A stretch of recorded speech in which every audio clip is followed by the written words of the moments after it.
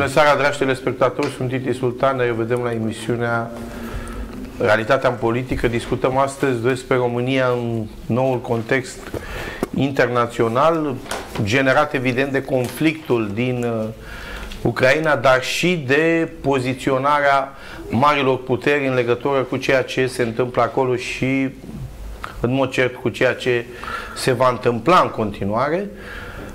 Știm cu toții, am văzut din imaginile pe care le furnizează toate canalele de știri, că războiul continuă, că în momentul de față Federația Rusă intervine în forță cu toate mijloacele posibile pe care le are în dotare. Cu toate acestea, ucrainenii rezistă. Astăzi președintele ucrainean uh, Vladimir Zelensky la fel a intervenit uh, online, bineînțeles, și a spus că speră încă în tratativele de pace să ducă la un deznodământ uh, uh, final, în sensul că războiul să înceteze. Sunt semnale însă negative cum că s-ar putea extinde, noi sperăm să nu se întâmple așa ceva.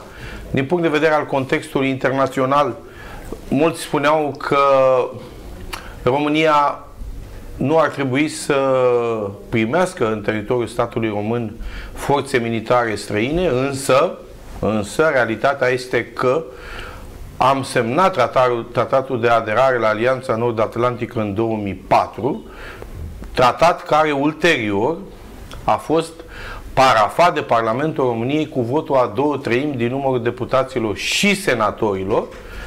Mai mult decât atât, Constituția spune foarte clar la articolul 10 și 11, la articolul 10 spune, care se referă la relații internaționale, faptul că România întreține și dezvoltă relații pașnice cu toate statele lumii și în acest cadru relații de bună vecinătate întemeiate pe principiile și celelalte norme ale dreptului internațional, iar la articolul 11 care se referă la dreptul internațional și dreptul intern spune foarte clar în alineatul 1 că uh, tratatele încheiate de România sunt respectate de statul român iar tratatele ratificate de Parlament potrivit legii fac parte din dreptul intern, dacă un tratat la care România urmează să devină parte conține dispoziții contrare Constituției, ratificarea lui va avea loc numai după revizuirea Constituției. Deci, statul român respectă și îndeplinește în tocmai dispozițiile din tratatele internaționale la care este parte, respectă cu bună credință.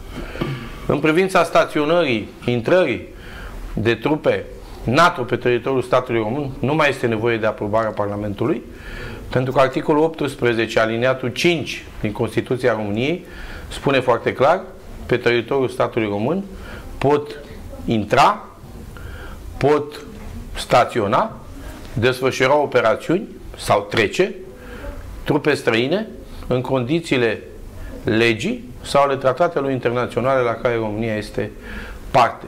Discutăm după aceea și despre eventuale atribuții și despre Consiliul Suprem de Apărare a țării, care s-a întrunit ieri, după cum știți, și a luat unele decizii importante de a susține, sprijini în continuare uh, poporul ucrainean în condițiile în care, iată, ne aflăm într-o situație la care nu ne-a fi așteptat cu siguranță.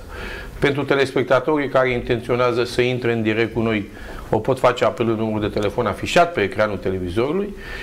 Va intra în uh, direct cu noi uh, domnul senator Adrian Costea, senator din partea AUR în Parlamentul României, istoric, și în partea a doua domnul deputat Michael Gudu, deputat din partea PNL în Parlamentul României, prezent în aceste zile la Isacea, un punct de frontieră foarte important, la granița cu Ucraina, evident, și ne va explica ce se întâmplă acolo.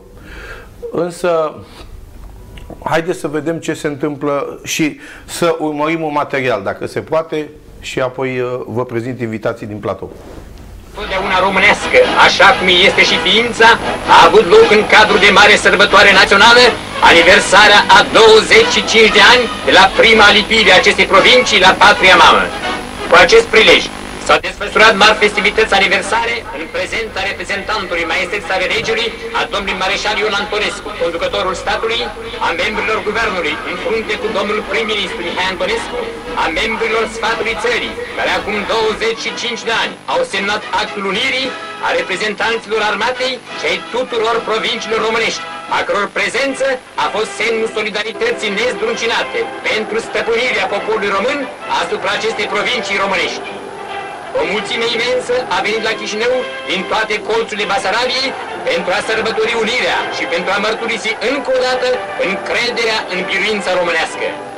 Mareșalul conducător, prin înțelepciunea și voința căruia, ne-am întors iarăși la renumere de apărători ai civilizației și ai credinței creștine pe care l-am avut în trecut, a fost viu aclamat de mulțime pe tot parcursul drumului de la gară în oraș.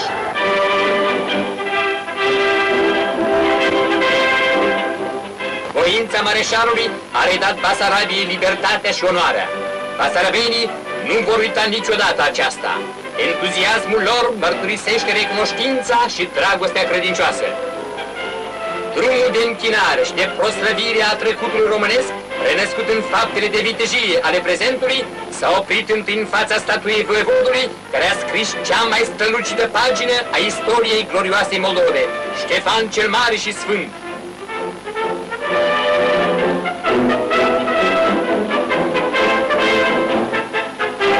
Reprezentantul maestății regelui, mareșalul conducător și guvernul au depus coroane la statuia voievodului. În fața amintirii lui, sufletele s-au legat ca luptând să păstreze în veșnicie drepturile neamului.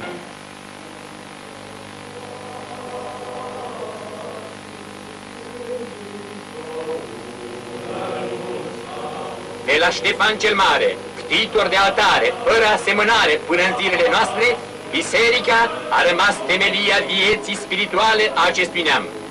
În Biserica neamului s-a dus mareșalul ca să rostească în fața altarului conștiinței românești mărturie de credință și de luptă neînfricată pentru tot ceea ce este românesc. Ceea ce a spus mareșalul în catedrala de la Chișinău este crezul lumii românești de astăzi.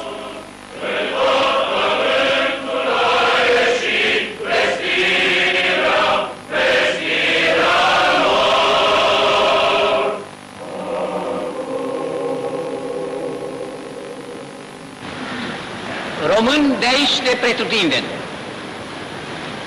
Cinstim azi împlinirea unui sfert de veac de la reîntruparea Basarabiei în unitatea neamului prin voința poporului moldovean, care în martie 1918 și-a afirmat aici în Chișinău hotărârea lui de a reveni la trupul neamului românesc. Această închinare românească are azi o întreită semnificație istorică.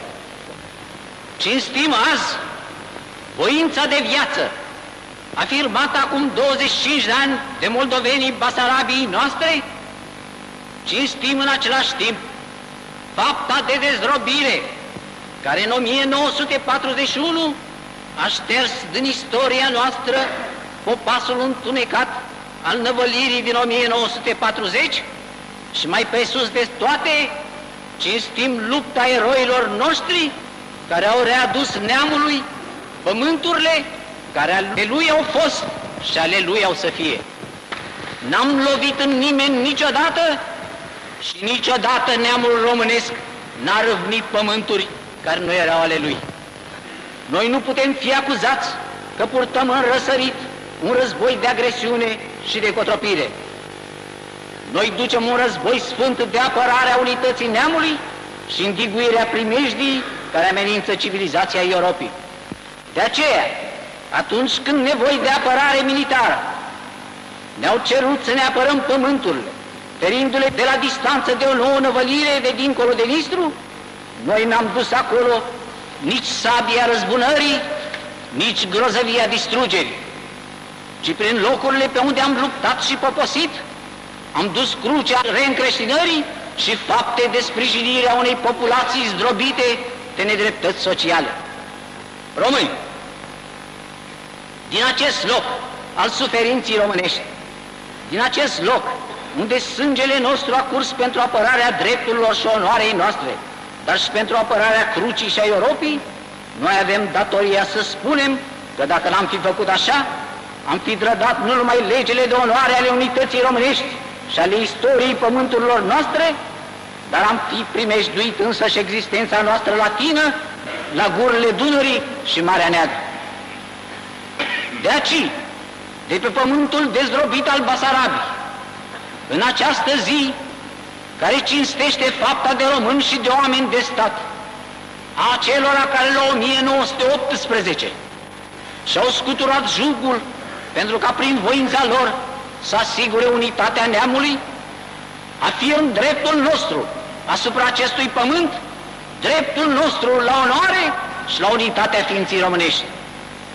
Pământurile unui neam sunt părți din sufletul lui și nimeni nu poate și nu are dreptul să le uite sau să le trădeze fără a-și trăda propriului suflet de român.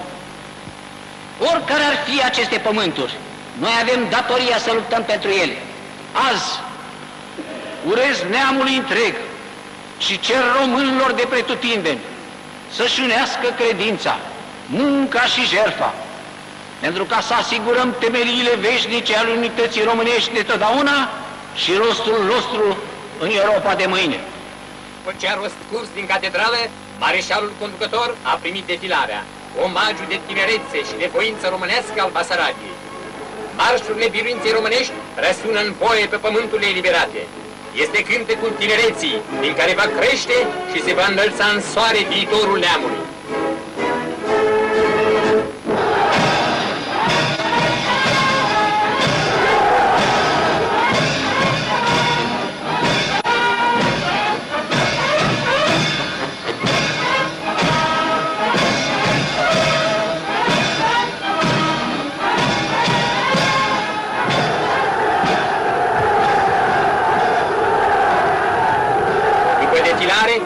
Mareșalul conducător s-a întreținut cu personalitățile vieții românești venite din toate colțurile țării.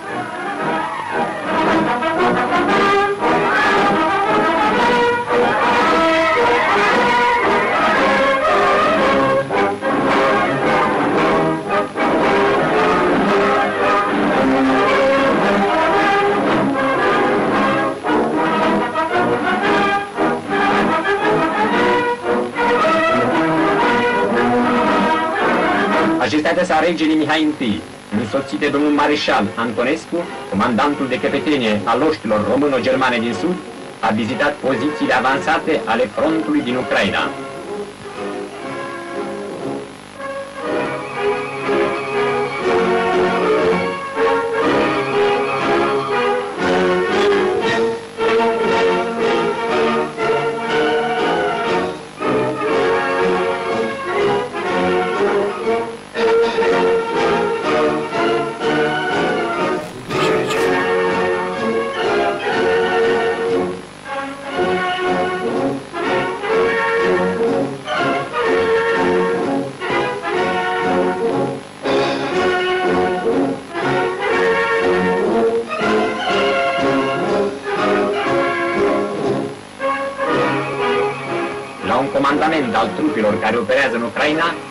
Mareșal Ion Antonescu stabilește planul de operațiuni pentru încercuirea Odesei.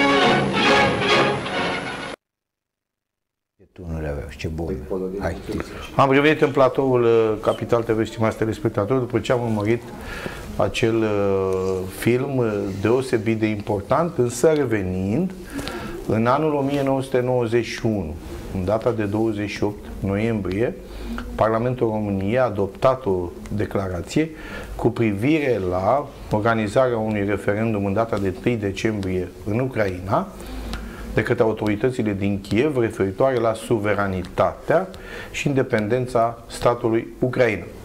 România a declarat prin uh, acel uh, apel al parlamentarilor români, în ședință comună, evident, 28 noiembrie 1991, că este dreptul Ucrainei de a organiza un referendum pentru independența sa, dar că acest referendum nu ar trebui să se desfășoare în teritoriile care au aparținut României și au fost rupte din teritoriul României de către URSS și aici mă refer la Bucovina de Nord, sudul Basarabiei, ținuturile Hotin și Herța.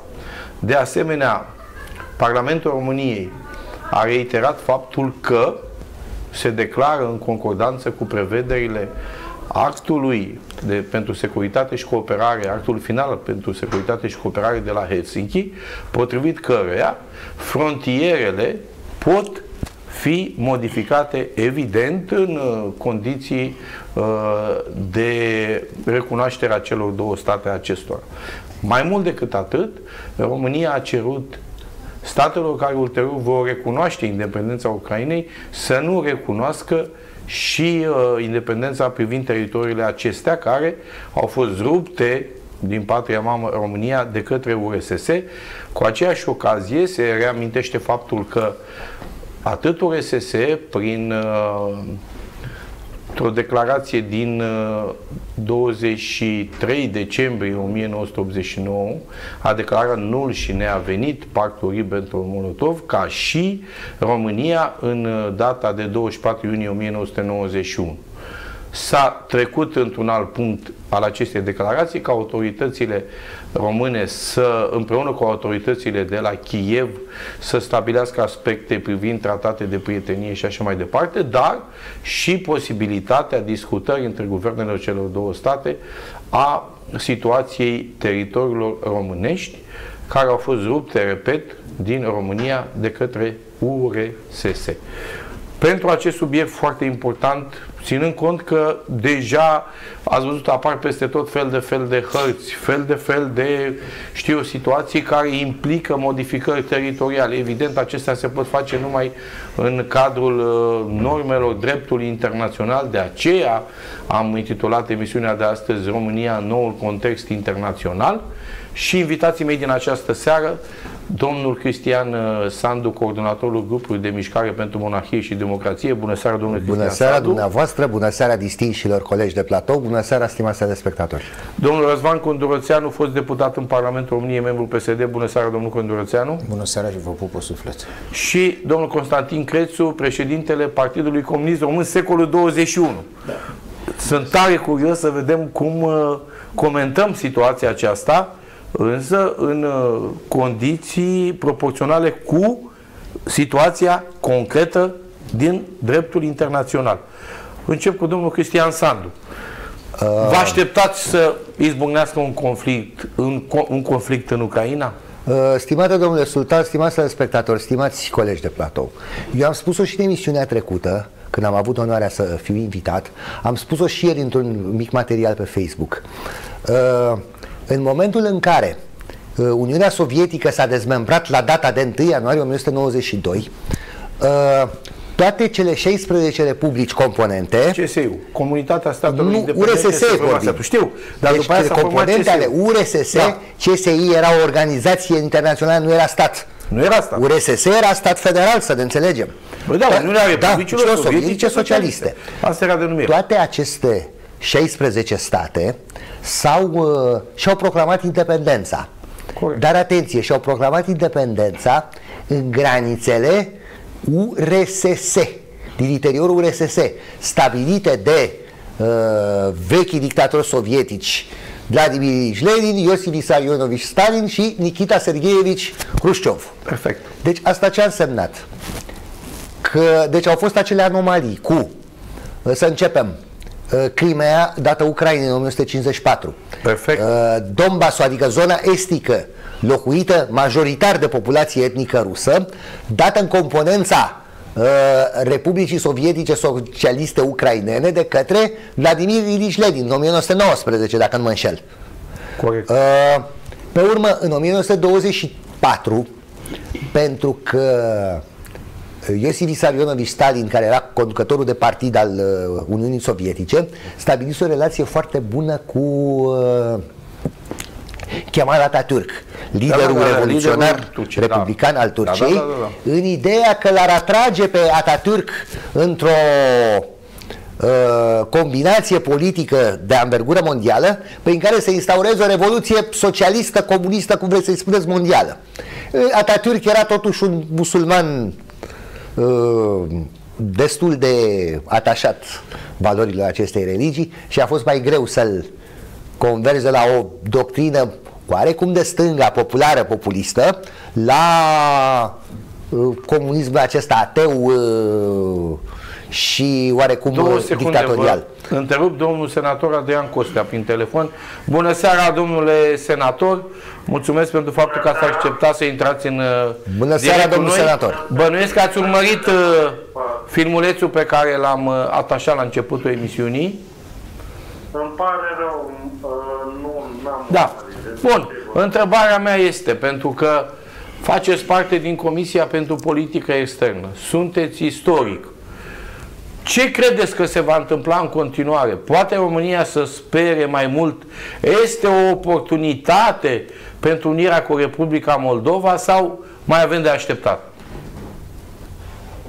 Uh, Ce să zic, uh, trebuie să susținem în continuare Republica Moldova parcurs de integrare europeană. Uh, Mai puțin cel uh, spre, drumul spre NATO, care este mult mai dificil, atât pentru Republica Moldova cât și pentru Ucraina. Și pentru Georgia. cele două, eu cred că ar fi mortalitatea. Perfect. Dacă sunteți dumneavoastră de acord cu mine. De acord. Absolut de acord. Și Absolut eu. de acord, da. Bun. În contextul actual al izbucnirii acestui conflict militar, ce credeți că îl determină pe, pe Putin să meargă mai departe? Cred că uh, vrea să împăceze poziții de forță.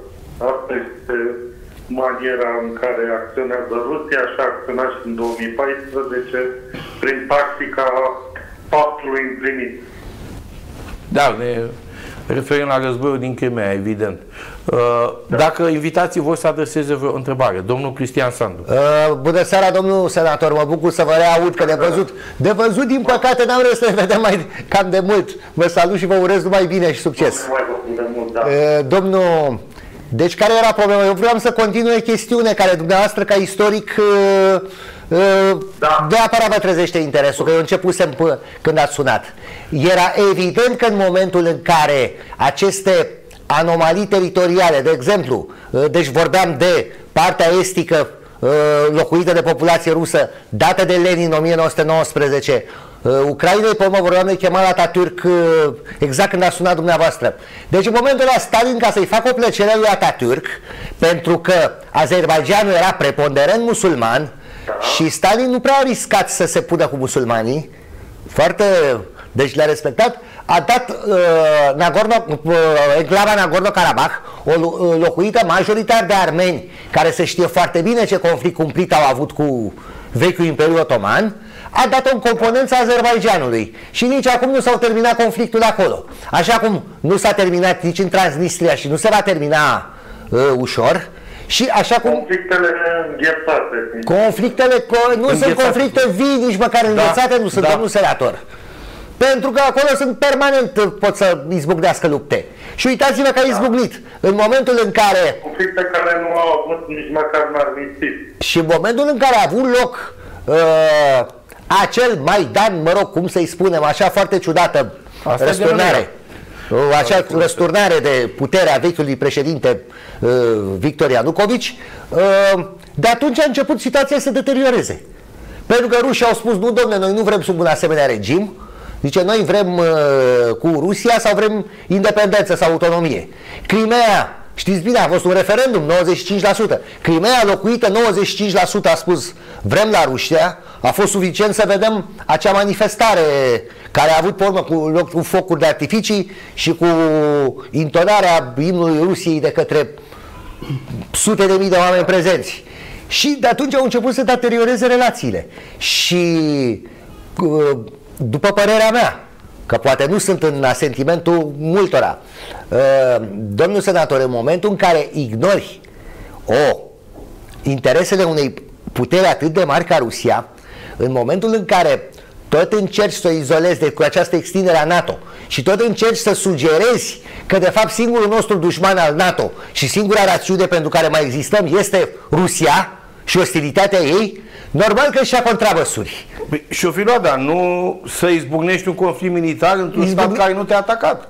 Adică e clar și care păi, nu ți-a declarat stați, război. Stați, stați, stați. Contramăsuri ne referim la acțiuni militare? Nu. Chestiunea este... Nu. Ori ceea ce a făcut Domnul NATO a, a, a uh, operat numai în sistemul anti ăsta defensiv. Nu a atacat numai pe că nimeni ei NATO. Nu, da. numai că ei au considerat că dacă concentrezi trupe la uh, granița lor, Așa, ei se simt în insecuritate. Pentru că să nu uităm, au fost atacați în al doilea război mondial, da, au fost atacați de pe teritoriul Dar totuși Europei, să nu uităm European. că Rusia deci au o forță militară fantastică din punct Sigur de vedere da. nuclear, sunt locul 1. Haideți să, să, să ascultăm și opinia și domnului senator. Nu, și doar, apoi doar o secundă, dacă îmi permite domnul Sigur. senator și dumneavoastră. Sigur. Și cu asta închei. Vă rog. Uh, deci aici este vorba că eu argumentat cine a verificat. Ce că Cine a verificat toate afirmațiile care s-au făcut? Pentru că ucrainienii spun că a, a fost un atac de provocat, partea rusă spune că au trebuit să evacueze 150.000 de refugiați bombardați cu armament greu de uh, armata regulată. Bine, sunt fel de fel de teorii. Acum, ca, domnul senator, cred că ar fi, în, că ar fi în Ucraina fel de fel de uh, Știu, bombe da. biologice și așa. Domnul senator, știți ce spunea Otto? Astea sunt numai Otto von Bismarck spunea așa, domnul senator. Nici, uh, cele mai mari minciuni se spun mm. la un război și după o vânătoare. Corect. Domnul senator, Vă rog. Voiam să spun că marile puteri mereu se folosesc de diversiuni pentru a porni un atac. Cum Sigur. a făcut Germania. A, în 1939, știu, cu Polonia, da. A okay. Simulat... Știu că a atacat polonezii granița, știu, știu, s-au îmbrăcat în haine poloneze. Bun, haideți să revenim la situația normală de acum. Deci, ce credeți că determină acest conflict să nu își găsească un stadiu privind pacea și să închem acest conflict militar. Să sperăm că va rămâne un război local. Și noi. Asta este întregii lumi. Doamne ajută. Domnul, domnul Constantin Crețu, președintele Partidului Comunist Român secolul 21. Vrea să vă adresez o întrebare. Vă rog. Domnul senator, cu toată stima, da. aș vrea să clarific o situație și anume acest protocol de colaborare militară dintre România și Ucraina, la inițiativa cărei părți a fost semnat. După cum se știe, România este o țară membră NATO, iar Ucraina nu este o țară membră NATO. Deci, cui a aparținut această inițiativă? Cred că guvernul României sau undeva deci nu știm exact, da. În, da, încă nu se știe. Orice știu că am fost și eu la procesul de ratificare acestui acord. Ori și cum, nici România, nici Ucraina în momentul de față nu acționează de capul lor. Deci România nu putea să acționeze în acest sens, fără o aprobare din partea NATO cel puțin. Da, însă, însă domnule, domnule senator, ieri în Parlamentul României uh, a avut loc o ședință comună dedicată condamnării fost, uh, acțiunii întreprinse. Exact. O declarație de genul acelea din 1991 de care am vorbit eu la începutul emisiunii, cea din 28 noiembrie, însă atunci se vorbea despre un referendum care a avut loc în data de 1 decembrie 1991 pentru independența Ucrainei. Ieri am discutat uh, și s-a discutat o poziție a României, un act de politică externă legat de ceea ce se întâmplă în Ucraina. Dacă ne puteți da mai multe amănunte. Legat despre ce? Despre declarația Parlamentului României. Da, de luni, de luni. Care a avut, luni, luni a avut. Am înțeles.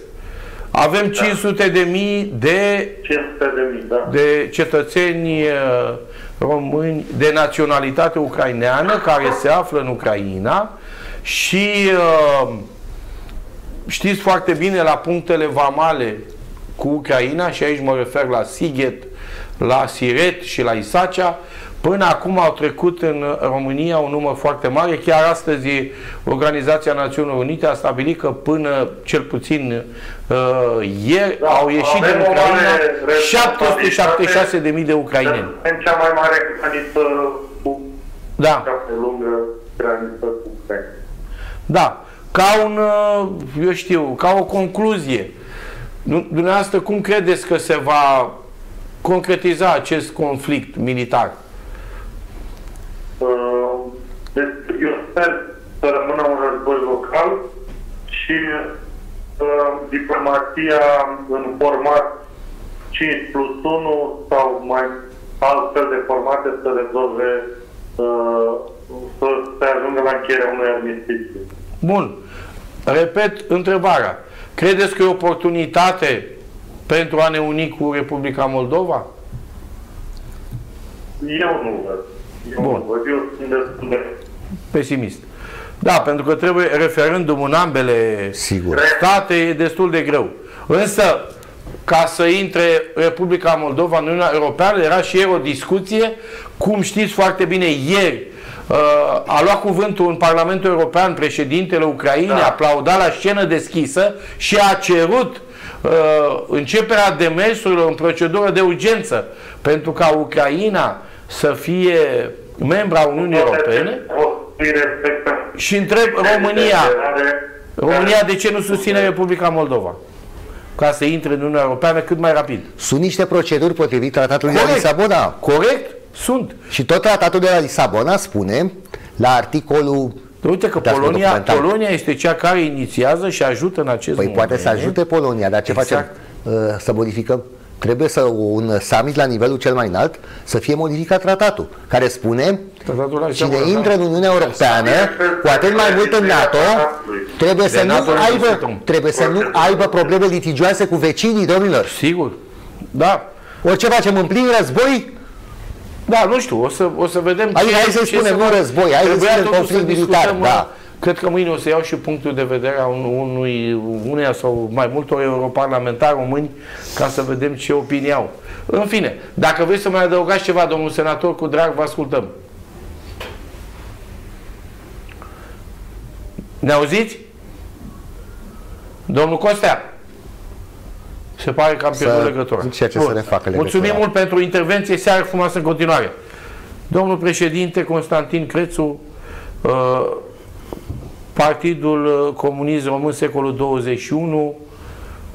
Cum comentați această situație generată de conflictul ruso-ucrainean? Ce credeți că ar trebui să facă România? Oricum, după aceea o să întrebăm Trebuie să plecăm fiecare parte. de la experiența pe care fiecare țară o are și în cazul nostru eu zic că avem o experiență destul de pozitivă în privința relațiilor cu naționalitățile conlocuitoare. Sigur. Deci, noi chiar respectăm. Vă uitați și acum, după 32 de ani, câtă importanță dăm noi păstrării tradițiilor culturale, literare, și educație, identităților naționale, naționale și spiritualității, așa este. Și atunci rămâi surprins când după atâta timp, când am zis că am intrat în această nouă formă de democrație, știți, pentru că și aici cu democrația sunt multe lucruri și bănesc că le-ați abordat de Nu, da, puteți să, putem să discutăm și subiectul că avem inclusiv, și domnul Condorățeanu și domnul Cristian un mare lider de sindicat, al monarhiei, imediat. Da, inclusiv un mare lider de sindicat care a ajuns da? și președintele Poloniei spunea că o democrație care nu oferă pâine nu e democrație. Deci, în privința acestor relații care noi le avem cu naționalitățile conlocutare, zic că România este pe un loc fruntaș, la nivel de Europa. Ceea ce ne doare, ne doare modul în care suntem tratați noi ca țară pentru naționalitățile pe care noi le avem la ceilalți. Și aici putem să ne uităm și în dreapta și în stânga și... Ori, dacă ar fi să analizăm numai uh, Ucraina, uh, au făcut uh, președintele Zelinski, a făcut o așa zisă aniversare a zi, zilei victoriei în care a mintit ca uh, minorități, tătarii, ungurii și uh, rușii. Pe când românii au fost excluși cu totul a venit cu legea respectivă a educației în care exclude posibilitatea învățării limbilor. Deci, trebuie să urmărim atent și să vedem că acest conflict mognit care s-a declanșat în timp între Federația Rusă și Ucraina are și niște motivații concrete. Nu punem faptul că cele două regiuni deja intraseră într-un conflict direct, militar, că se dorea o stare intraseră de independență de și așa mai departe. Ceea ce este surprinzător este faptul însă că Ucraina a fost încurajată în această politică a ei și în momentul de față, când lucrurile au scăpat de sub control, când Rusia a luat o atitudine foarte hotărâtă în susținerea unor politici ei, din moment în care spune, domnule, eu mă simt amenințat, vreau să împărțim noi, să avem noi sfere de influență și așa mai departe.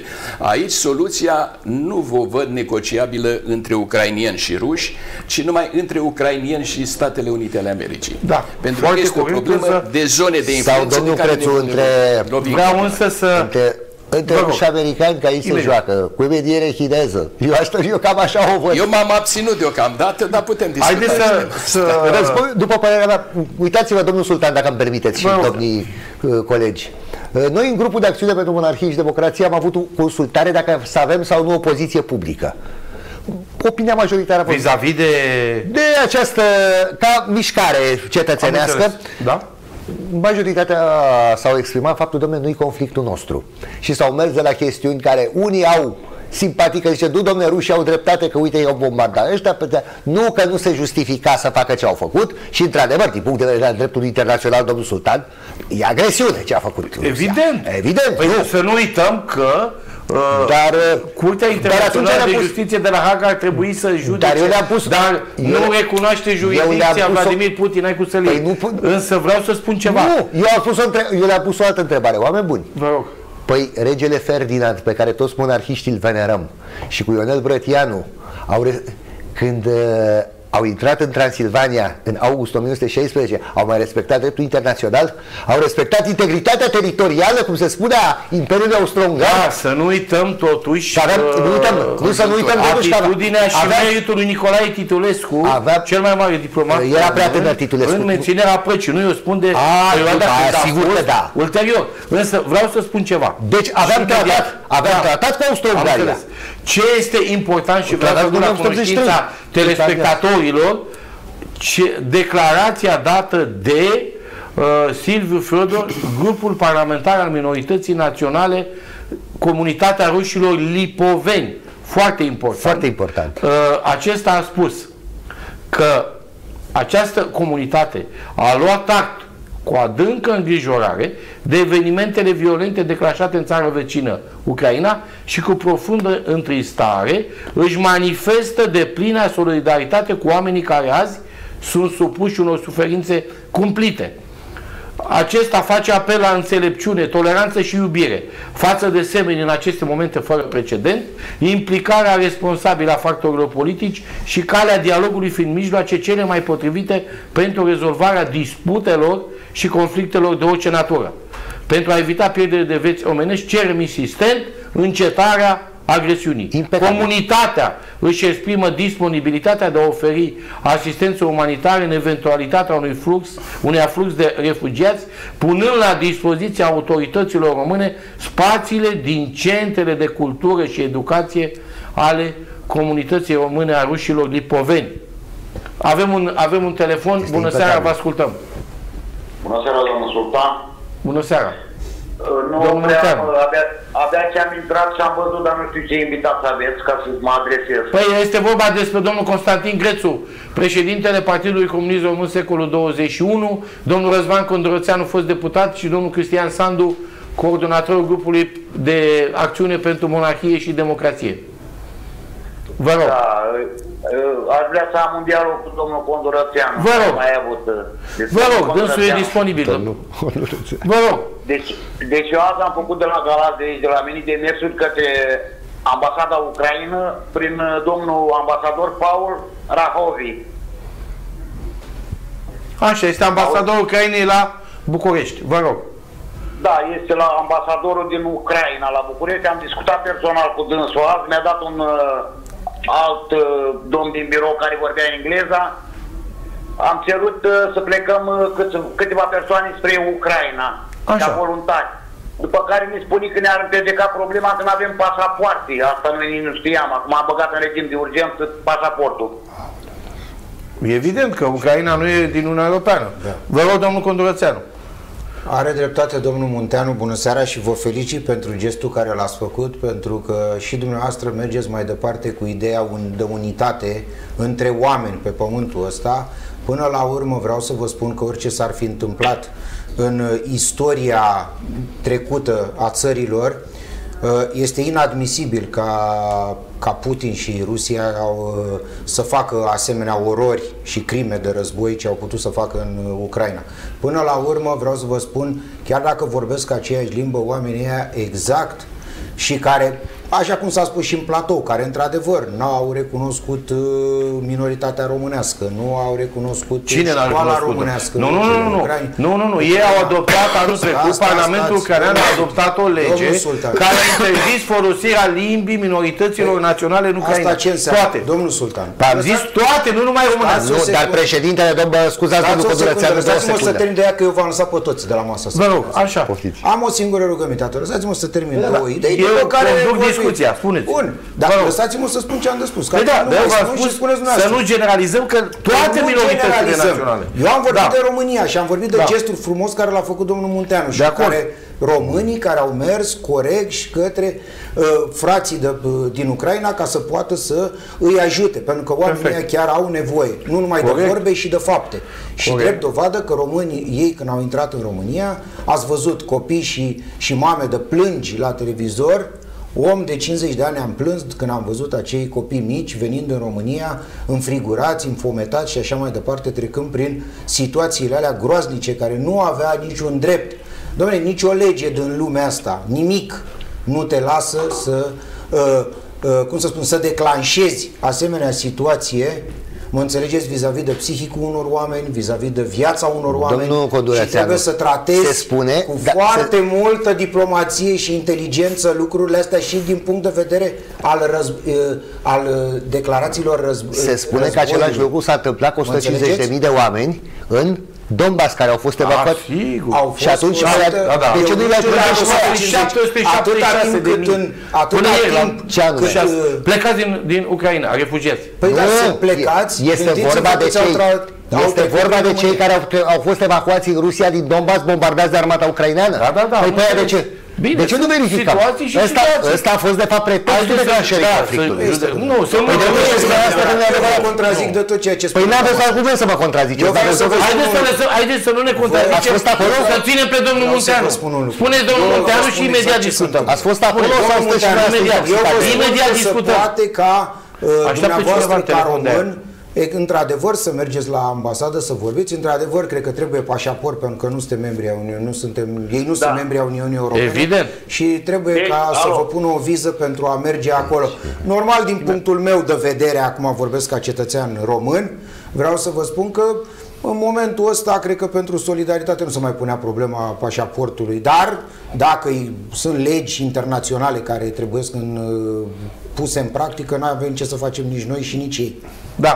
Vă rog, domnul Munteanu. dacă Oricum, mai eu vă aveți ceva de felicit adăugat. pentru tot Da. ceea ce faceți. Deci, Da. Deci, domnul, Co- domnul Condurățeanu, am luat uh, această decizie din două motive clare. Unu, am un copil de 5 luni. Doi, acum trei seri am fost Să vă contactat pe trăiască. pagina mea personală de Facebook. A apelat două familii din Ucraina la mine, care i-am cazat la mine acasă. După două zile i-am trimis mai departe către Botosan. De acolo vor să meargă în altă țară și de acolo aveau transport. Și ce am văzut în ochi la acele mami, vă dați seama, că îmi dădeau lăcrimile. Da. Domnul Suntem Munteanu, solidari. adevărul e că românii sunt oameni și au demonstrat acum într-adevăr ceea ce înseamnă solidaritatea vis-a-vis de alți cetățeni care sunt loviți de o soartă cruntă și de ideile unui om.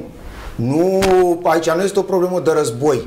Aici este de o nebunie de a Bine, nu știu, de nu a- putem de a noi să ne lucra, lăsăm în- de a, Păi de a în, aduce uh, înapoi auspicii URSS-ul și medicale. a, a sări Da. peste independența, suveranitatea unor țări care s-au declarat independente uh, cu, cu legi internaționale, corect. Recunoscute de stat, așa e. da. Dacă îmi permite și mie, vreau Sigur, să fac vă o rog. singură precizare în privința domnului Minteanu și eu îl felicit pentru spiritul dânsului civic și comunitar de a sprijini două familii care au ajuns în zona dânsului. Noi avem nevoie, într-adevăr, de voluntariat în România în acest moment, iar din câte știu eu, în momentul în care se pune un vorba despre un voluntariat într-o altă țară, acesta se face de obicei la solicitare.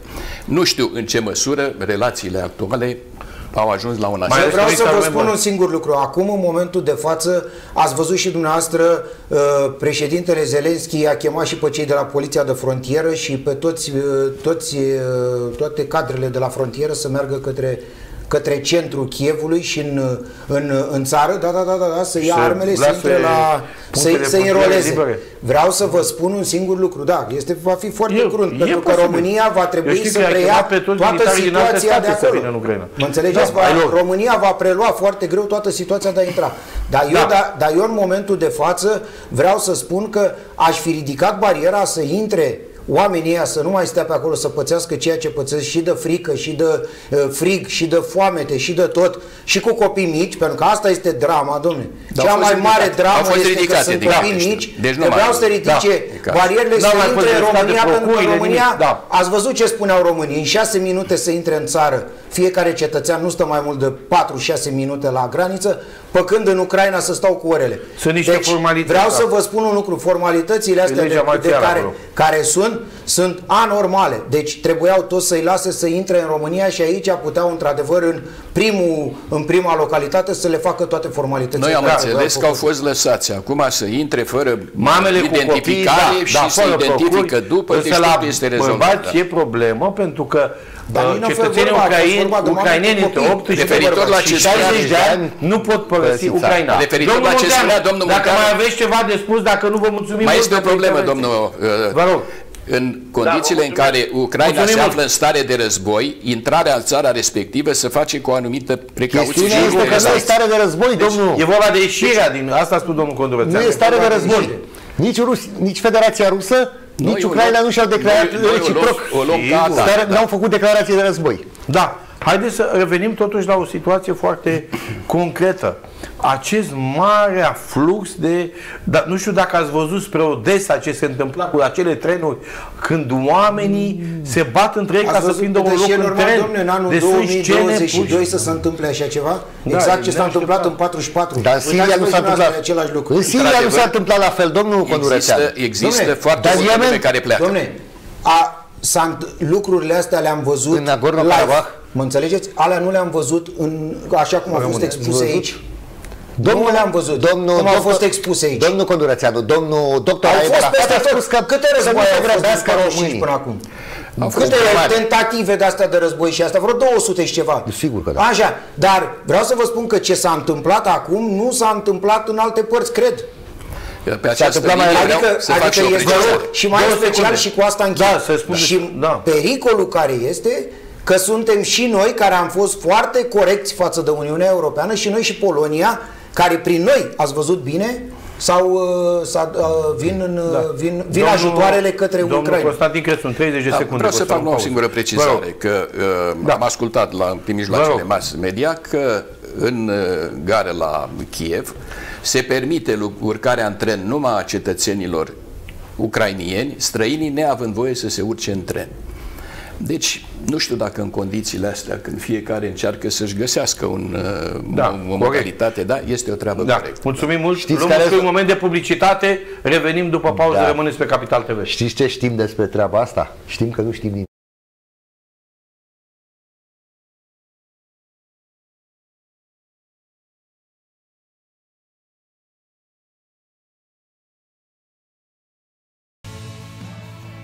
Aducătorule de bunăstare, bucurie și iubire, te-ai arătat nouă celor ce ajutorul tău l-am cerut, arată-te și nouă celor ce azi în casa noastră te cerem să vii spre ajutorul nostru și al celor dragi nouă.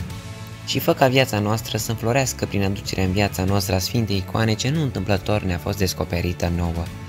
Prin Sfânta Icoană vă aduceți în casă bucuria în locul întristării. Cei care l-au luat pe Sfânt ca protector, azi mulțumesc pentru ajutorul grabnic primit. Sunați acum! Să aveți bucurie. Cunoașteți deja acest salut al părintelui Emilian. Tocmai pentru a păstra bucuria în suflet și a o dărui și celor dragi, puteți acum cumpăra cele patru cărți ale părintelui. Te iubesc, cuvintele care au puterea de a schimba viața și prin tine lumea. Tu mă iubești, tratat de bunăstarea sufletului, cartea ce-ți descoperă adevărul despre partenerul tău, cuvinte vii care vă pot vindeca sufletul, 135 de cugetări ce-ți vor schimba viața. Sacroterapia, enigma vindecărilor miraculoase și a reușitei tale în viață. Primul manual de sacroterapie pentru rezolvarea problemelor dumneavoastră zilnice. În ele veți găsi etape din viața dumneavoastră, prezente și viitoare, și soluții pentru a vă schimba viața și a vă alunga tristețea. Cei care veți cumpăra întregul pachet veți primi cadou CD-ul Cum transformăm frica în putere, care vă va învăța lucruri noi și vă va ajuta să reușiți. Toate cărțile sunt balsam pentru suflet și aduc bucurie.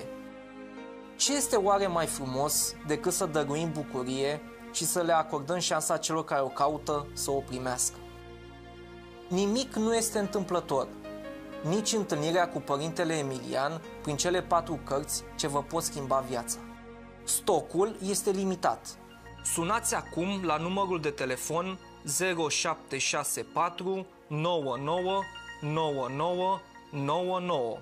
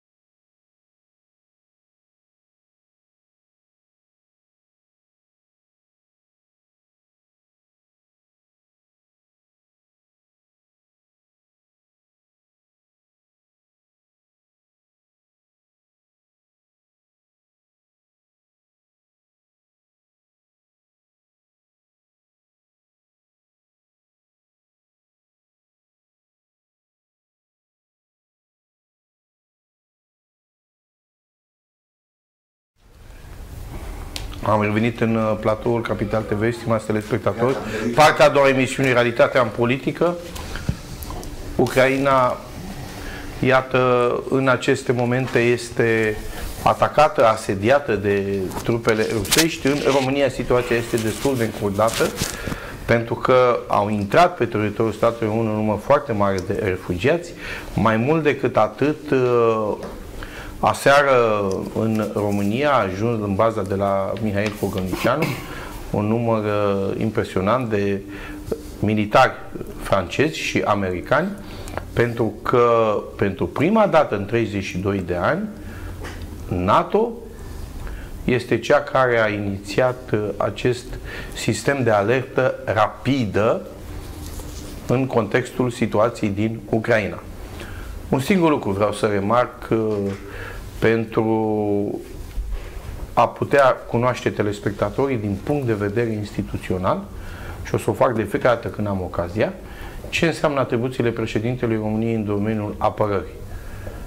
Ele sunt consacrate la articolul 92 din Constituție, în felul următor. Președintele României este comandantul forțelor armate și îndeplinește funcția de președinte al Consiliului Suprem de Apărare a țării.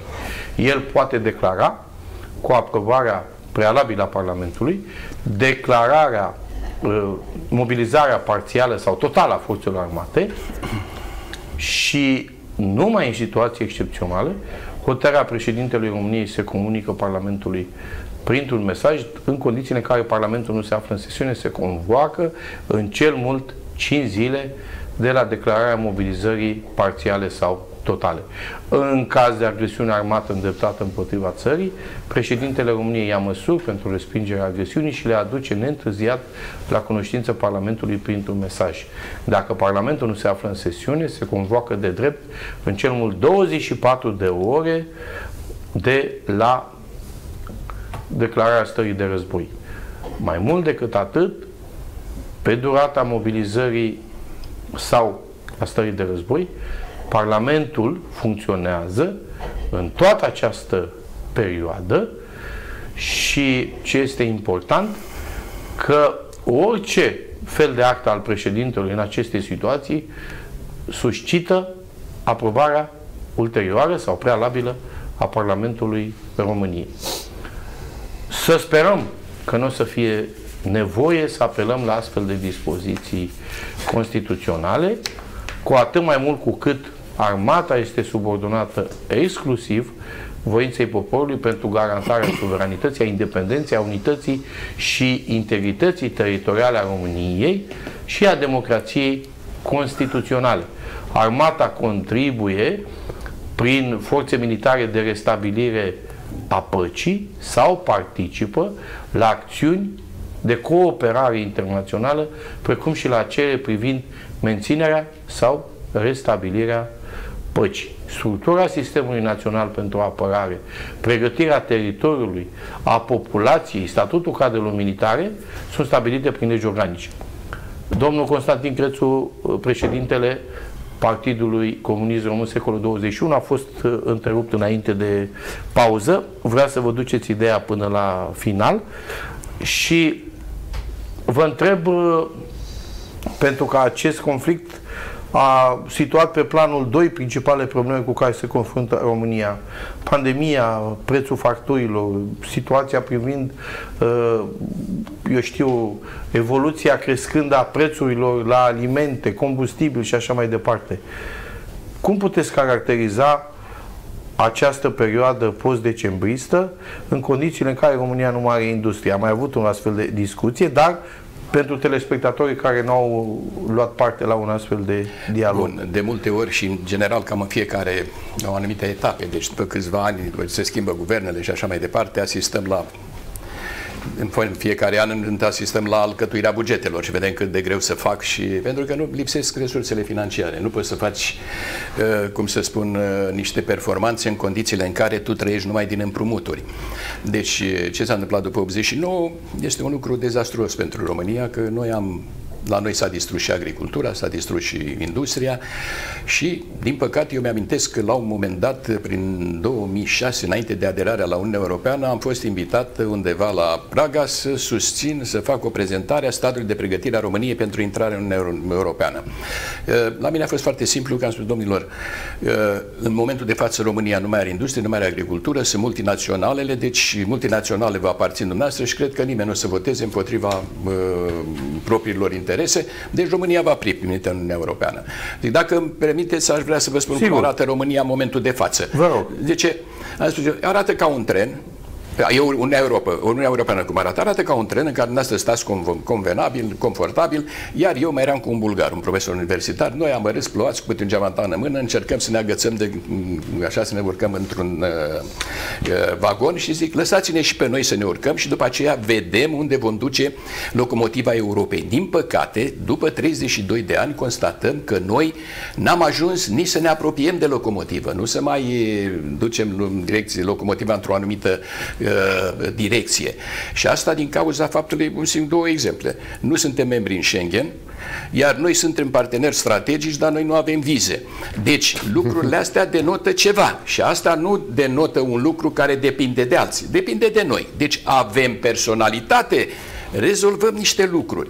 Iar referitor la industrie și cum era înainte și cum este acum, în momentul în care un șef de stat, înainte de 89, se ducea într-o țară, el era apreciat nu pentru frumusețe și faptul că reușea, prin, cum să am încercat să prezinte, prin anumite tertipuri, să ajungă, nu știu, la o discuție cu personalități mai importante, ci prin faptul că avea în spate o element, un element de rezistență, era economia românească, care funcționa.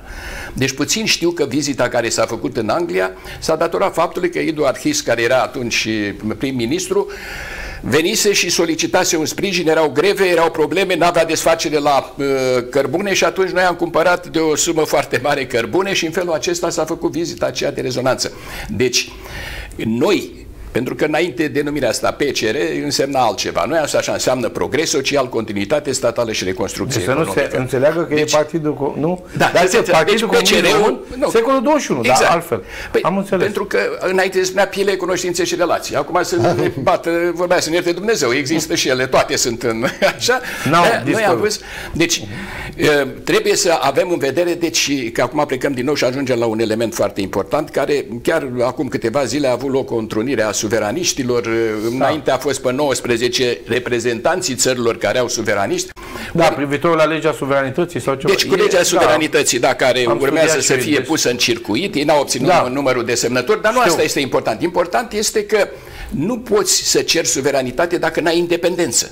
Deci Trebuie să ai o politică care să-ți asigure independența, suveranitatea și, normal, da, integritatea Deși în articolul 1, exact cu asta începe aliniatul 1 în articolul 1 din Constituție care se referă la statul român, România este stat național, suveran și independent, unitar și indivizibil.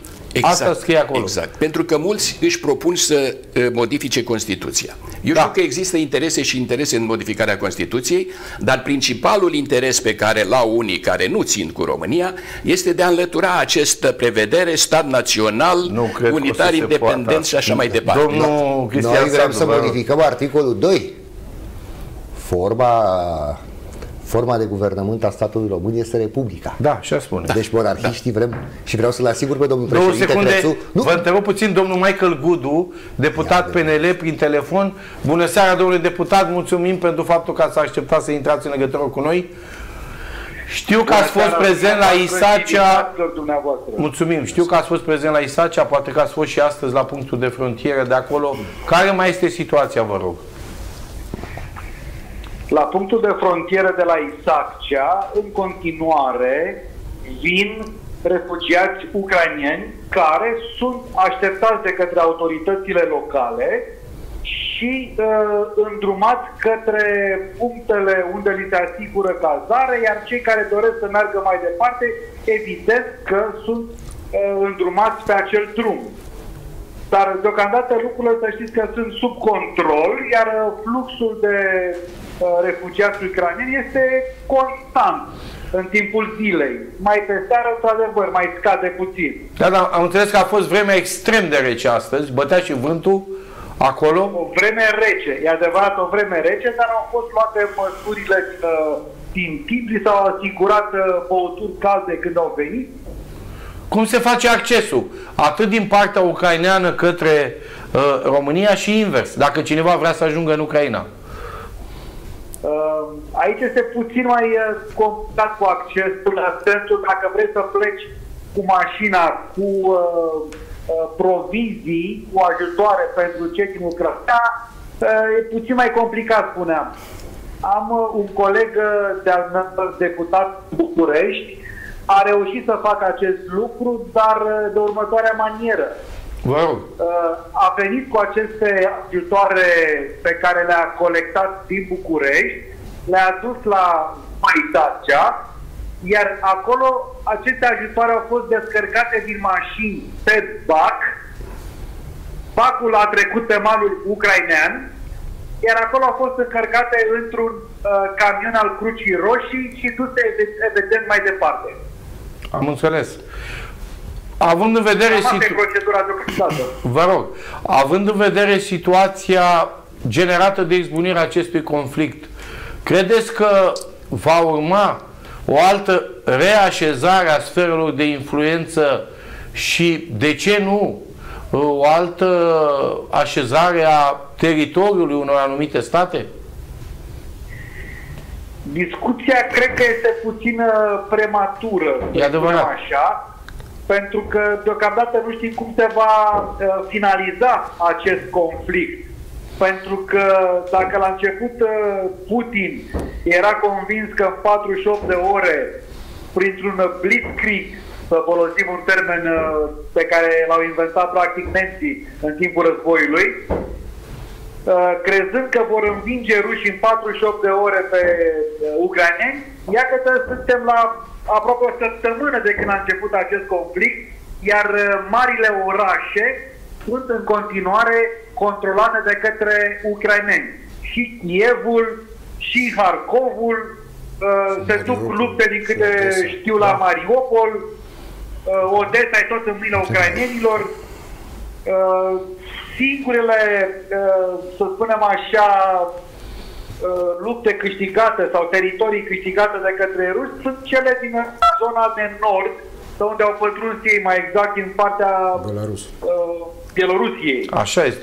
Domnul Cristian deci, Sandu, a, vă rog, domnul Cristian Sandu, coordonatorul grupului de mișcare pentru monarhie și democrație, vrea să vă adreseze o întrebare. Deci, domnul Bună deputat. Seara, vă rog. Bună seara, domnul deputat. Eu aș vrea să vă întreb, când afirmați aceste chestiuni, cine ce orașe controlează, ce se întâmplă de fapt pe acel teatru de operațiuni, aveți uh, și o altă sursă de informare decât media oficială ucraineană? Pentru că de ce vă întreb? Eu am făcut un curs, asta se întâmpla 1988-1989, imediat ce terminasem facultatea de drept și am fost luați la o unitate militară a direct și pregătiți de specialiști ai Direcției de Informații Militare ca rezerviști, ca ofițeri în rezervă care să fim mobilizați în caz de război. Și acolo ni se spunea, inclusiv de către domnul colonel Deceva Lirina, care ulterior a ajuns este acum general în retragere și a fost șeful Direcției de Informații a Armatei și ne spunea, între, în timpul unei operațiuni militare, deci în război, nicio parte nu spune informații exacte. Da, bine, Pentru că este vorba de Aici nu vorbim numai de nu vorbim numai de nu vorbim numai dumneavoastră de spuneți cu foarte multă siguranță foarte că... multe filmări ale cetățenilor din acele orașe. Vă rog, domnule Dumneavoastră spuneți, nu, și o secundă. Da. Deci s-au descoperit Sigur că fiecare are interesul propaganda să propaganda rusă e floare. Nu e propaganda rusă, e propaganda ucraineană vorbim. Oare? Să păi este. Pentru că în momentul în care aveți un bloc uh, care a izbucnit din cauza unei uh, acumulări de gaze în 2015 în China și îl prezinți ca uh, fiind bombardat de ruși, credibilitatea scade. Sau, asta am văzut cu ochii mei, da, uh, avioane, și... nu, avioane rusești bombardează Chievul. Că m-am uitat ceva mai bine, ce stă mă credeți că aveau acele avioane? A Israelului. A, păi cumva a venit Israelul. Da, a fost din alt context. Sau Israelul a trimis Bine, un set de... Să sperăm. Domnul deputat, vă rog. Deci asta este. Aveți și altă sursă de informare? Pentru că despre acest Probabil că război- oamenii care vin din Ucraina. Acest Vă rog, război domnul știm sau deputat. că nu știm nimic. Da. da, dar totul este subiectiv. Da, domnul deputat. Dar nu știu, nu știu exact ce legătură are acel bloc sărit în aer din cauza unei acumulări de gaze cu ceea ce se întâmplă acum. A fost în prezentat ca Ucraina. bombardat de ruși, domnul deputat. Uh, repet, Ori rușii spun că așa, cunosc că nu au acest bombardat în Kiev decât două clădiri. Că spun că nu sunt interesați, că nu sunt... Probabil dumneavoastră știți mai bine lucrul ăsta. Nu, eu, am, ci- Însă, eu nu știu, sursele eu v-am de- spus ce știu. Sursele, Eu Două știu că secunde, nu haideți știu să nimic. vorbim pe care rând. ne Dar vă Haideți să dumneavoastră- vorbim pe rând. Nu-i Vă rog, domnul deputat. oficiale. Imediat, imediat. Eu nu știu, Vă eu rog. știu că nu știu nimic, dar văd că Vă rog, dumneavoastră domnul știți tot. deputat. Vă rog. Și apoi domnul Cristian Sandu. Haideți să vorbim pe rând, că așa nu ne, nu ne înțelegem. Domnul deputat. Sigur că da, dumneavoastră sunteți în studio și eu oricum vă aud mai uh, greu. Știu. Însă, spuneam că sursele pe care ne bazăm sunt uh, sursele oficiale, atât cele din uh, Ucraina cât și cele din Rusia. Este puțin probabil ca uh, o parte să fi spus despre Kiev, vă dau doar un exemplu, că este cucerit, iar cealaltă parte uh, să nu recunoască acest lucru. Adică sunt chestiuni de domn evidenței. Atât timp cât cei din Kiev spun că uh, controlează acest oraș, că luptă cu uh, forțele uh, ruse la intrarea în oraș, înseamnă că e în continuare în Păi, mâinile forțele... ucrainienilor oraș. Da, domnul deputat, dar forțele... eh, Comunicatul guvernului uh, autorităților ruse spune că sunt la 30 de kilometri de Kiev și că nu interesează Kievul, îi interesează doar orașele din Donbass. Haideți, haideți că am o informație ca să Haideți să eliminăm. privim Domnul, lucrurile cu domnul realism. deputat, este vorba de un post de televiziune, nu despre uh, informații din Ucraina, care a dat această știre și anume un post de televiziune din România a prezentat acele imagini. Nu era un bloc, era o centrală care a explodat Mă rog. acum șapte ani printr-o țară asiatică. Deci nu Ucraina a Așa prezentat acele știri. Da, Bun, pentru a reveni la subiectul nostru, foarte, foarte important.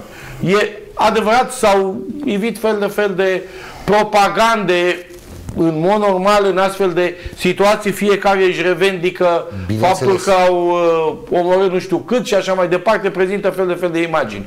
Însă, v-aș întreba, domnule deputat, România respectă în tocmai și cu bună credință obligațiile ce revin din tratatele internaționale la care este parte. Ne-am dovedit încă o dată faptul că respectăm aceste tratate, inclusiv tratatul privind Alianța Nord-Atlantică. Credeți că după ce acest conflict se va sfârși, avem vreo oportunitate de a ne uni cu Republica Moldova?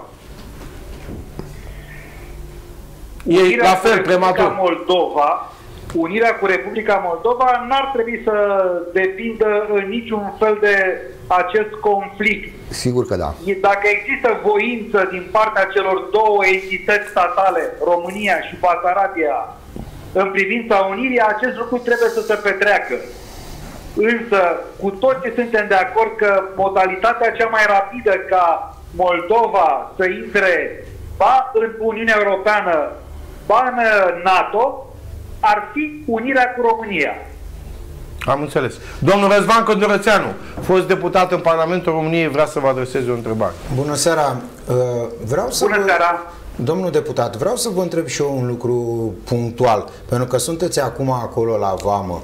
Spuneți-mi și mie, vă rog, cum pot niște români care vor să ducă niște ajutoare că după uh, în Ucraina, de să treacă granița și nu au pașaport. Dumneavoastră ați putea să ne spuneți ceva pe tema asta, pentru că eu am fost întrebat în emisiune și am spus că uh, dacă dacă, dacă ambasada Ucrainei din România a spus că trebuie numai cu pașaport, atunci și m, poate dumneavoastră aveți alte informații și eu să mult răspund. mai complete decât uh, a mea și să ne spuneți ceva suplimentar. Pot și eu să vă lămuresc. Da, da. E foarte simplu. Fără L-a întrebat pe pașaport domnul nu se deputat, vă poate rog. Trece Poftim? Granița. Fără pașaport nu se poate trece granița. Da. Corect. Ok. Domnul Ucraina Consta... nu este în Uniunea Europeană. Nu, Așa nu, e. nu, așa este, aveți dreptate, că asta am spus și eu, dar am crezut Deci e că foarte în simplu, momentul stimate ăsta e o, domnul- si- ar fi o situație puțin Nu uh, există mai specială. alte mijloace de a trece frontiera decât cele care sunt uh, Situația reglementate. Deci, domnul Codurețeanu, situația e așa, cu pașaport românesc normal, de cetățean român, eliberat de direcția pașapoarte, și obținerea vizei de intrare în Ucraina pentru că Dom'le, nu avem... să lămurim ce domnul telespe- telespectatorul... Domnul care- telespectator merge la frontiera română-ucraineană și cere viză. Asta era ideea. Eu, da, eu Da. da. întreba pe domnul De acolo. separat Da. un pic Evident dacă că există trebuie vreo viză, variantă. sau merge în la momentul consulatul ăsta. Ucrainei. Dom'le, da. nu pe legislația normală, pentru că asta să știe. Eu credeam, eu am întrebat numai dacă există în momentul ăsta o altă Stabilit variantă... un acord, un protocol între cele două Da, state. în momentul în care este o situație domnul, de- Corect. de război. domnul Constantin Crețu, președintele Partidului Comunist Român secolul 21, vrea la rândul lui să vă adreseze o întrebare. Domnul deputat, pe scurt aș vrea să vă Bună seara. Bună seara, cu tot respectul. Deci România și-a respectat întotdeauna angajamentele care le-a avut, an- angajamentele internaționale și în cazul nostru, deci și le-a respectat atunci când a făcut o înțelegere, acea înțelegere militară cu Ucraina, o respectă și în momentul de față când dorește să vină cu acele ajutoare umanitare în care s-a spus că vor fi și armament. Problema care se pune este nu cumva depășim totuși niște atribuții care sunt date chiar de către NATO în acest context? Au intervenit niște noi reglementări care permit acest lucru? Sau este o inițiativă românească? CSAT-ul a luat uh, în discuție și a aprobat așa ceva. Pentru că rușii au fost foarte categorici. Au spus, toți cei care ajută Ucraina cu muniție și așa mai departe vor suporta consecințe. Și rușii au încălcat. Da, vă rog, domnul deputat. Astfel, România nu și-a încălcat în niciun fel uh, convențiile semnatare. Cu atât mai mult faptul că suntem uh, membri ai acestei alianțe nord-atlantice. Nu am încălcat nicio prevedere din tratat. Toate ajutoarele care se trimit în Ucraina nu vin din partea alianței uh, nord-atlantice. Ele sunt ajutoare furnizate de către state statele, ele sunt state membre, dar nu acționează în numele Alianței Nord-Atlantice. Acum două zile, Guvernul României a adoptat o ordonanță prin care acorda un ajutor pentru 3 milioane de euro, constând în bunuri, în uh, armament și așa mai departe, către Ucraina. Dar a făcut Oameni, acest au lucru fost vesti. în numele Guvernului României, nu ca membru uh, al Alianței Nord-Atlantice. Am înțeles. Am înțeles, pentru că știți dumneavoastră, se spune că atunci când elefanții se luptă, cel mai mult are de suferit iarba. Și eu, ca român, nu sunt nici pro-rus, nu sunt nici pro-ucrainian, sunt pro-român și în contextul ăsta mă interesează iarba verde de acasă. Și atunci trebuie să fim și noi lămuriți cu anumite lucruri. Vă mulțumesc foarte mult. Așa este, Dom- cu plăcere. Iarba verde de acasă este pe deplin apărată prin faptul că suntem membri ai Alianței Nord-Atlantice. Da, Dacă mulțumim. facem un exercițiu, Vă rog. ne putem imagina ce se putea întâmpla cu România dacă n-ar fi fost membru NATO. Evident. Probabil eram următorii... Păi cu Finlanda ce s-a întâmplat, domnul deputat, sau cu Suedia? Care nu sunt membre NATO. Cu Finlanda și cu Suedia ce s-a întâmplat de 70 de ani? Că nu sunt membre NATO și sunt în vecinătatea Rusiei. Suedia nu are graniță cu uh, Rusia. E, are Baltica la doi pași, știți? Ce înseamnă pentru Da, dar nu Ura e graniță Igalerian? directă, cum avem noi frontieră cu Ucraina. Dacă Dar- vine dar cu Finlanda, Rusia da. În locul Ucrainei am avea graniță directă cu Rusia. Dar cu Finlanda, da, Însă, dar nu atât avem. Su- Atât Suedia cât și Finlanda nu sunt state membre NATO. Dar dacă ați văzut ultimile uh, știri în această materie, ați observat că ambele sunt direct interesate să intre în NATO cât mai repede. Eu vă întrebam ce s-a întâmplat de 70 de ani, de când s-a înființat NATO, 73 de ani. Și Suedia și Finlanda ne-au aderat. Și au rămas, au fost, au avut vecinătate și cu URSS-ul și de 30 de ani cu Federația Rusă. Le-a atacat nu s-a cineva? întâmplat nimic cu ele pentru că n-au fost agresate militar. Păi de ce nu au fost agresate militar? Că Rusia asta agresează pe toată lumea. Bine, Dar stați o secundă, pe principiul Nu chiar pe ăsta, toată de ce lumea. nu agresează Rusia și uh, Spania? Sau Păi da! Corect. Rusia Păi nu, nu, nu. agresează statele care sunt pe graniță cu ele, că n-are cum să Păi treacă Finlanda pe este pe partea graniță. de un alta. Și în 1939 Da, da. Uniunea Sovietică a agresat Finlanda. Păi lăsați-le războiul de iarnă din 1939, e Corect. ceva.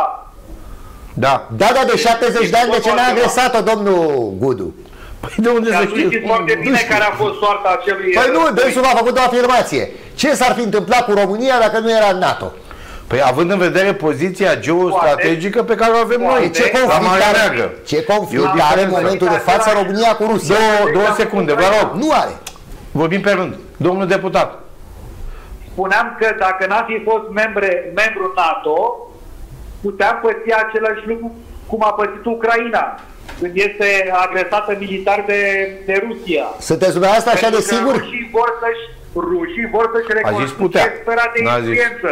că Iar pățea. în Europa de Est știți bine, România Da. era în sfera de influență sovietică. Dar de unde știți dumneavoastră ce vor rușii să facă? Luați cafeaua cu Putin zilnic sau săptămânal? Spre deosebire de dumneavoață, eu nu. Păi Am nici, eu, înțeles. păi nici eu aș vrea, dar nu. Da, așa este. Dar eu nu mă hazardez în astfel de afirmații ca dumneavoastră, în speculații. Păi speculația a Nu spus și speculez. dânsul. A zis Ba, poate. speculații. A zis Dacă poate. dumneavoastră aveți o altă explicație pentru care Rusia a agresat un stat independent cum este Ucraina, Eu nu am nicio explicație. Nu aveți decât să Eu am și susțineți, spus că nu da. am nicio explicație pentru că nu sunt în măsură să o am. Ipoteza, dar ipoteza lansată de Putin, cum că vrea să denazifice Ucraina, că acolo sunt la conducere uh, drogați, narcomani și așa mai departe, ține de domeniul ridicolului. Haideți să fim serioși. Da. Bine, departe de mine gândul ca domnul uh, Cristian Sandu să fie susținător al Rusiei Dar sau eu sunt să susținător- fie de eu sunt- acord cu eu sunt susținător al atitudinea României. Rusiei. Bineînțeles. Bun, dacă nu mai sunt întrebări Dar eu către caut- domnul dar eu deputat, caut explicații. mulțumim mult pentru, in, pentru intervenție și vă doresc succes în continuare în sprijinul acordat uh, ucrainienilor care se refugiază în România, folosesc România ca stat de tranzit. Mulțumim mult, bună seara, numai bine! Și eu vă mulțumesc. O seară bună Numai și bine. emisiune plăcută mai departe. Mulțumim mult! Mergem mai departe. Domnul Sultan. Domnul Condurățeanu. Mergând, mergând mai departe cu ideea asta acum vis-a-vis de ceea ce se întâmplă, eu, eu vă spun că lucrurile care au, uh, s-au demarat și sancțiunile care s-au demarat împotriva Rusiei sunt foarte binevenite în momentul acesta. Uh, Da, dar n-au niciun, nu prea produc efecte. Acum s-a văzut, Hai. ba da, au produs foarte mari Pot să producă efecte asupra Au celor care le produs află. foarte Asupra mari cetățenilor. efecte. Dar nu asupra- Nu Dați-vă că după o declarație, o și secundă, domnul asupra, Con- nu, domnul, Lăsați-i să lăsați-ne cheie. să ne, ter- ne terminăm ideea și după aia spune și dumneavoastră. Da.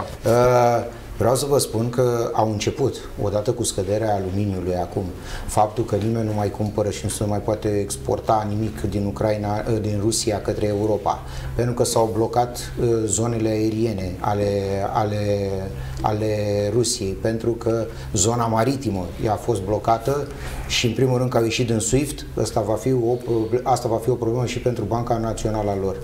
Problema este următoarea.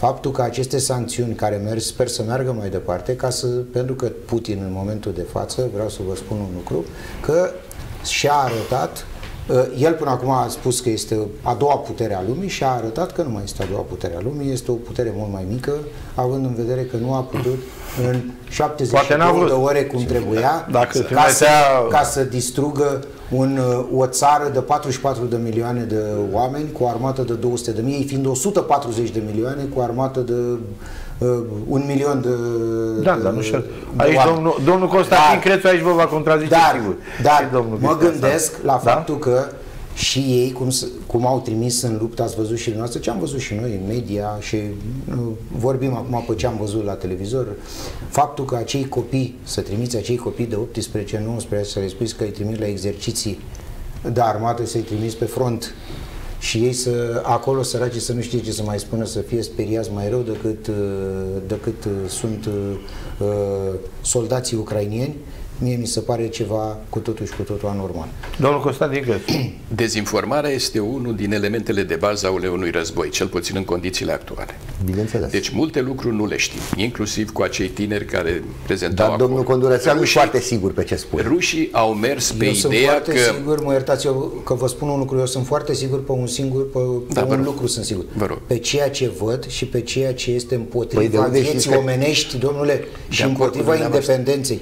De acord Pentru cu că nu dumneavoastră. este normal ca în, Și în atunci a- argumentele în acea- rusești de ce nu le secolul credeți? Că pentru, 21. că pentru o problemă... Pentru că argumentele lui nu poți să le crezi în situația asta în care ei au declanșat, pentru că ei trebuia să se pună la masă dacă erau atât, Nu, dar eu nu v-am atât de contrazis. omenoși și atât de binevoitori chiar dacă Ucraina era o țară care fusese în URSS și așa mai departe, nu vreau să mai dezvolt subiectul. Dom'le, e, vom- e vorba de bombardarea civililor, domnul Păi Condorcea. asta este. E asta susțin, eu nu pot să sigur că e așa. Bravo. Păi am fost Bravo. acolo. Păi cum nu? Păi cum nu când, Da, se, da, nici când, să ne când se arată lasăm. la televizor și civilii ies, ați văzut și dumneavoastră Domnule, brațele fața goale, tancurilor, civilii fața- din Să nu Donbass. generalizăm. Haideți Și să nu civilii generalizăm. din Donbass, Bun, domnul haideți, Dumnezeu și domnul- Donetsk. domnul Crețu, Deci vă rog. ăsta este argumentul Haideți să Rusiei. ne bine, domnul Crețu. Deci concrete încerc să omenești. fac o Că medie dacă între vorbim, cele două părți. Vă haideți că dumneavoastră Haideți sunteți să ca la vorbim pe fotbal, rând și hai domnul Ucraina, Crețu. defilați cu steagul Vă Ucrainei rog, și- domnul Crețu. Nu defilez, domnule. Păi asta Eu faceți. eu defilez Da, cu da. steagul României, nu Da, Ucrainei. dezbateți la Domnul Crețu, concluzie logică. Da. Haideți să viețile vorbim pe unor rând. Corectă. Gata, liniște.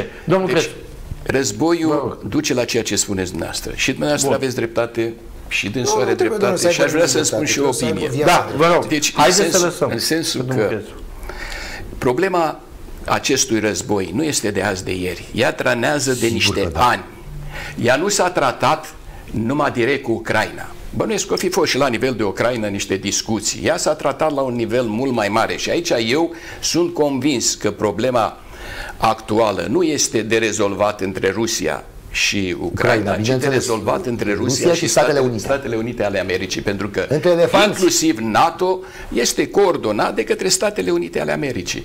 Deci, eu mă așteptam ca în condițiile în care s-a agravat situația, cu aceste aspecte umanitare, care le vedem uh, real, că lumea pleacă, se sperie și așa Sunt mai departe. realități, nu poți să le ignori. Da, și de aici nu poți să mai vor zici că aici interveni- sunt uh, vor interveni și alte lucruri. trucaje. Clar. Nu Deci- înseamnă că acum se resetează lumea.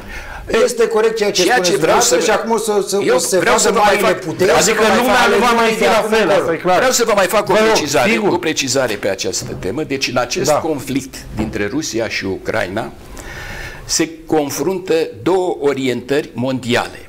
Una care dorește stabilirea unei noi ordini mondiale și a doua care își dorește stabilirea unei noi ordini mondiale multilaterale și multipolare.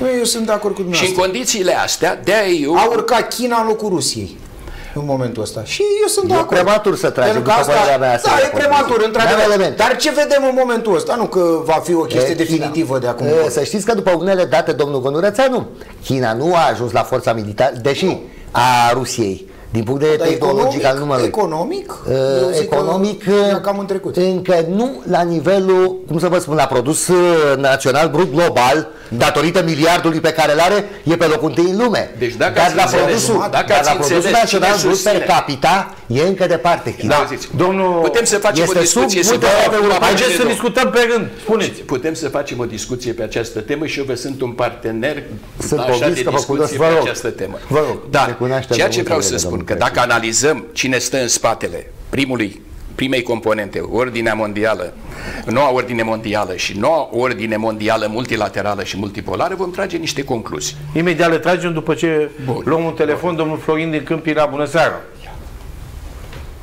Vă ascultăm!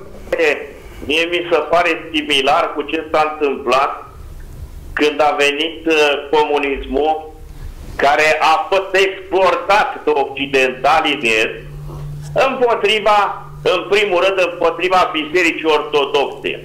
Rușii au avut E oameni pe opinia Lenin, noastră, pe la, normal. pe la, au făcut praf și au făcut că au făcut în biserici grajduri, la fel și în țările celelalte din Est. Acum mi se pare tot așa să exportă un conflict.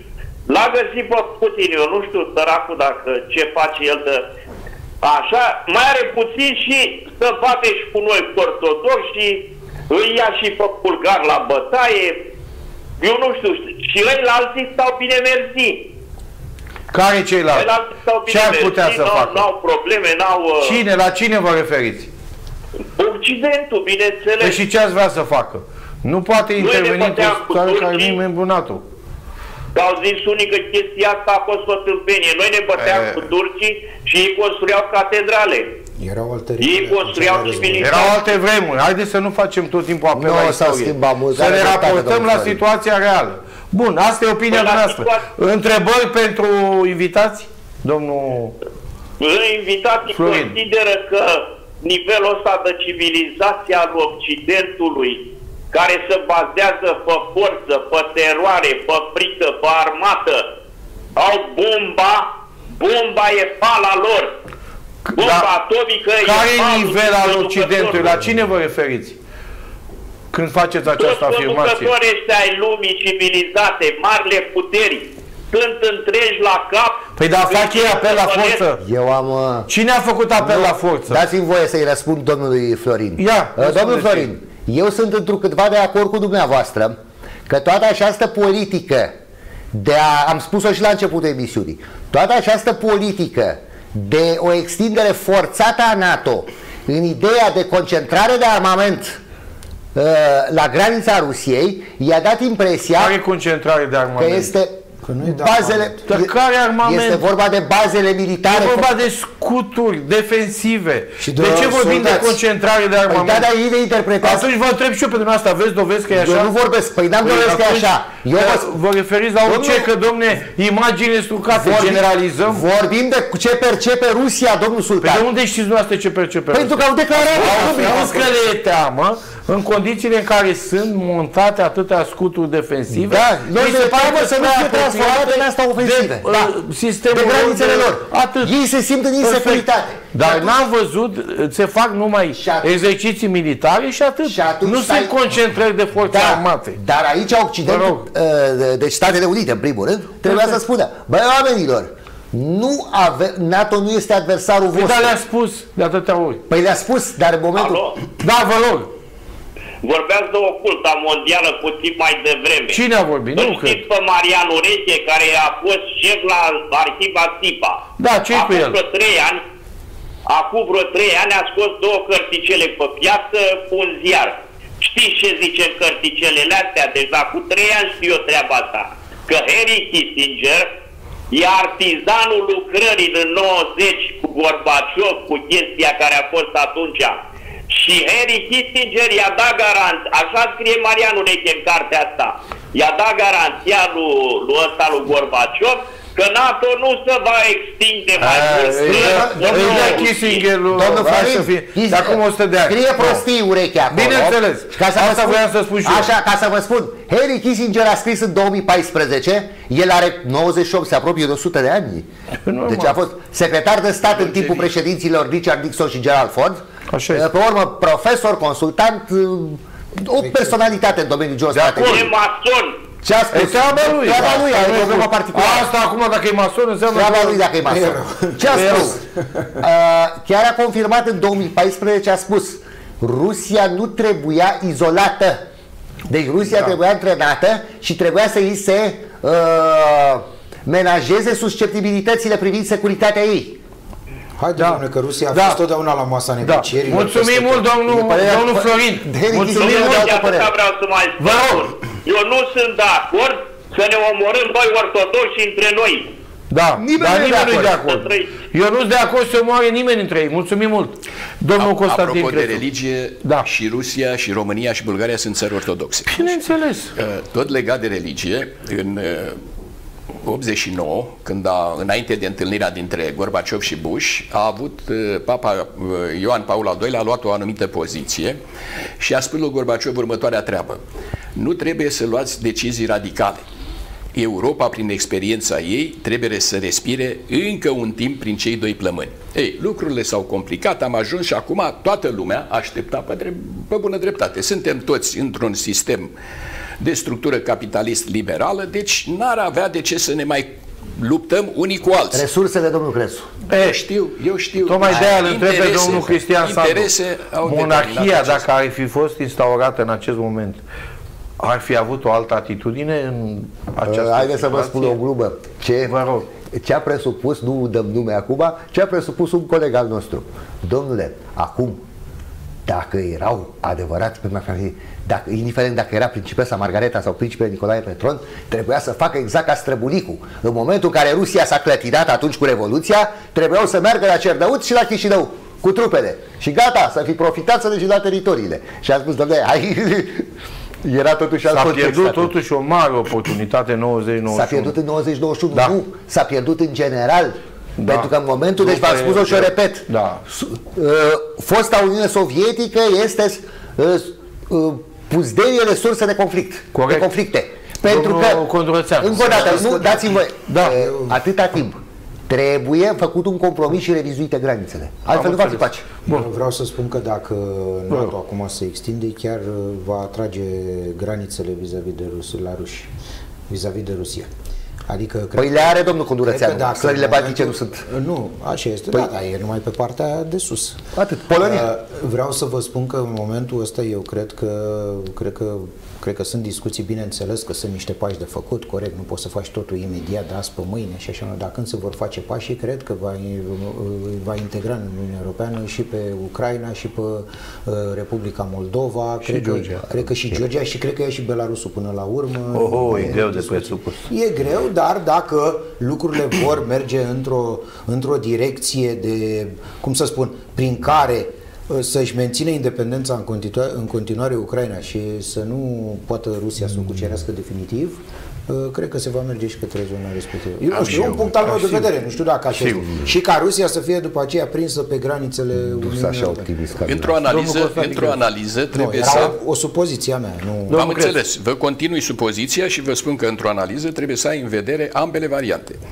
Varianta noastră ați expus-o. Gândiți-vă însă că Rusia încorporează Ucraina și atunci eu mă aștept ca Rusia, așa după cum de fapt s-a exprimat, să dorească ca să aibă niște țări tampon între ea și NATO.